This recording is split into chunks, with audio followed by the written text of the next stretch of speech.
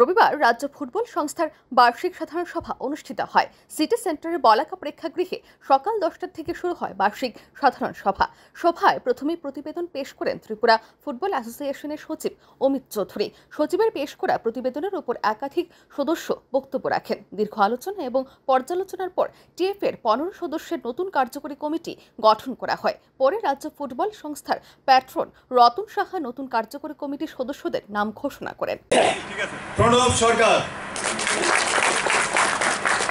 Vice president Rupak Saha secretary Amit Chowdhury. Joint secretary Krishnabodh Sarkar.